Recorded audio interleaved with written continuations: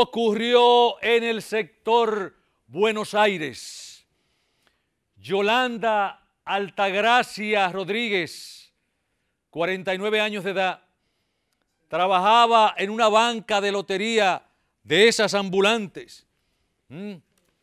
Y al cierre del día, pues ella que se disponía a entregar el dinero a su supervisor. Cuando dos asaltantes, vamos a ver el video, la despojaron de su cartera que colgaba en su hombro. Luego de este asalto, Yolanda tomó una decisión terrible. Vamos a ver si es posible el video cuando la asaltan. Miren. Miren, le llevan la cartera, esa es Yolanda. ¿Mm?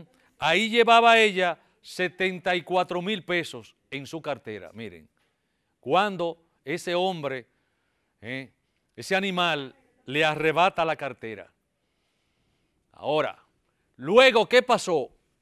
Luego de ese asalto, Yolanda tomó una decisión, señores, terrible. Volvemos con Yolanda.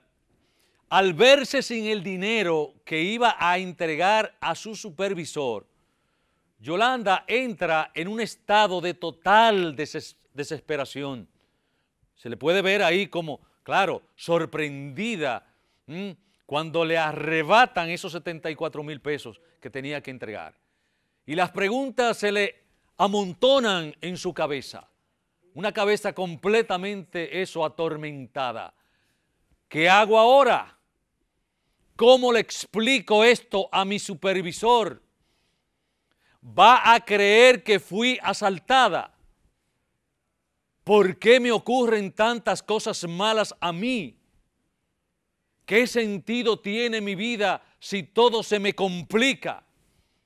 Y así fue como la mente de Yolanda fue levantando todas esas posibles preguntas.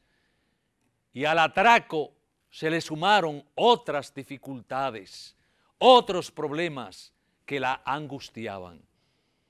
Entonces, la equivocada, sí, errónea, sí, desesperada decisión era para Yolanda la más conveniente. Era para Yolanda, errónea, equivocada, pero para ella era la más conveniente. Terminar con su vida. Señores, señores, y así lo hizo.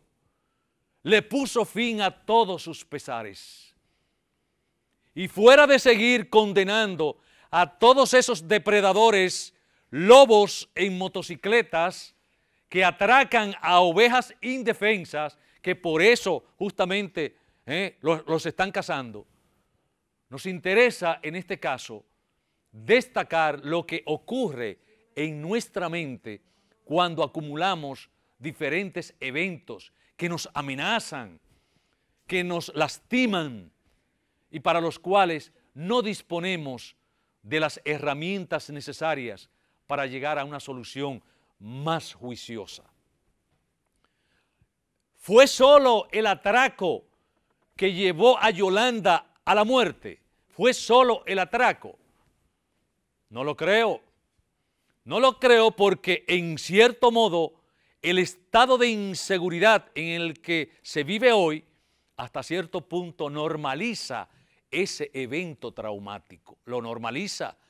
La gente ya no se siente tan sorprendida, tan traumatizada con un evento como ese, porque continuamente lo está observando, y más en, en los barrios, permanentemente está observando eso. Fue su alto nivel de responsabilidad personal que la nubló de tal manera que entendió que no podría justificar o explicar la pérdida de ese dinero. Es posible que exista algo de esto, pero tampoco creo que la llevaría a un desenlace tan extremo, ya que estaba quizás consciente, o quizás no, de que podría demostrar su inocencia. ¿Mm? Porque fíjense ustedes que si hubiese esperado quizás unas horas, ya hubiese pensado en que eso iba a quedar registrado, inmediatamente se iba a ver que ella era inocente. Pero a ella se nubiló completamente. Arrastraba otros conflictos personales que sumados, sumados, oiga bien la palabra, a este evento, un evento completamente detonador, propició este trágico final. Yo me inclino por esa posibilidad, señores.